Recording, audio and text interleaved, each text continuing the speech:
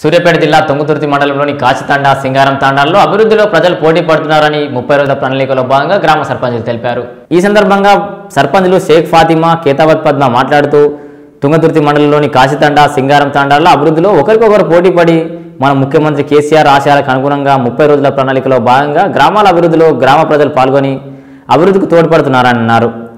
ఇక ఈ కార్యక్రమంలో కాశీతండా ఉప సర్పంచ్ టీఆర్ఎస్ పార్టీ గ్రామాధ్యక్షులు సింగారం తండా ఉప సర్పంచ్ టీఆర్ఎస్ పార్టీ గ్రామాధ్యక్షులు ప్రజలు పాల్గొన్నారు.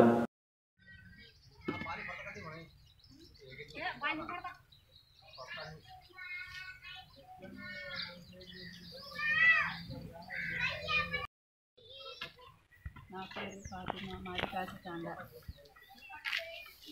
ముప్పై రోజుల పండ డోజర్ పెట్టి పిచ్చి చెట్లన్నీ పీకించినాం రోడ్డు సా సాగు చేయించినాం. మట్టి పోయించినాం. చెట్లు నాటించినాం రోడ్లు బాగు చేయించినాం.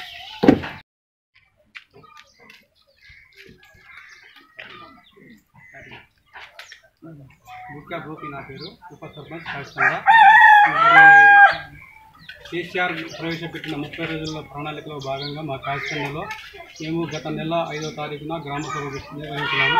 అందులో మా మేము గ్రామ గ్రామ ప్రజలు గ్రామ వార్డు మెంబర్ సర్పంచ్ మేము స్పెషల్ ఆఫీసులందరం కలిసి మేము సమస్యలను గుర్తించి ఏమేమి సమస్యలు ఉన్నాయో అన్ని అన్నీ గుర్తించి వాటి వాటిని ఏ విధంగా అమలు చేయాలనే దాని మీద ఒక కోఆప్షన్ మెంబర్లు స్టాండింగ్ కమిటీ సభ్యులను ఎన్నుకున్నాము.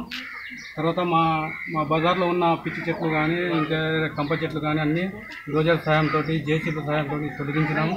దానిని మొత్తం క్లీన్ చేయించి మళ్ళీ హరితహారంలో భాగంగా మేము రోడ్ సైడ్కి చెట్లు నర్సరీ నుంచి తెప్పించి మంచి చెట్లు పెట్టుకున్నాము. మళ్ళీ ఇప్పుడు కరెంటు విద్యుత్ సమస్య గురించి అన్ని తీగలు అన్ని అన్ని సరి చేయించినాము. సీసీ రోడ్కు మేము మట్టి పోయించడం జరిగింది. మొరం దాదాపుగా ఎక్కడ లేనంత మట్టి పోయించినాం. ఎందుకంటే ఇంతకుముందు మా గ్రామం అభివృద్ధి చెందలేదు.